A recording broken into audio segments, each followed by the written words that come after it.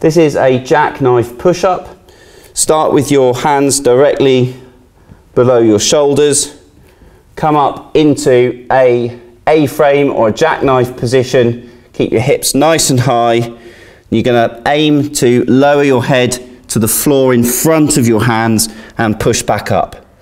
So aim, go as low as you physically can, ideally to the floor, and push back up, maintaining posture through your body.